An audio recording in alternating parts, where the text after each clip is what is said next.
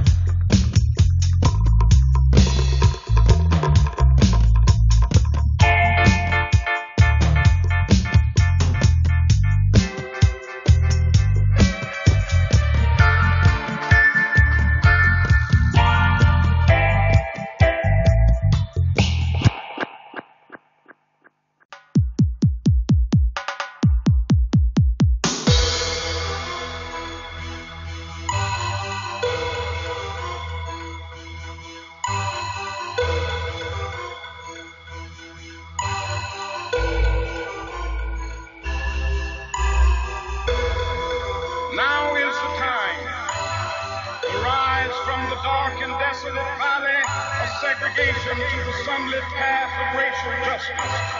of racial justice.